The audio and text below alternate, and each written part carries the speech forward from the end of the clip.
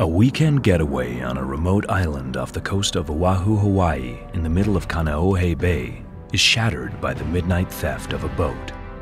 Just as financial consultant Kensington Stone manages to organize an all-island search, his partner, Teri White, gets a call regarding an even more devastating loss. Their friend Pops's daughter, Viane Koa, has disappeared while hiking on the island of Hawaii. The only clues she has left behind are a hot-wired pickup truck and a hiking hat found off the trail on the slopes of Mauna Loa.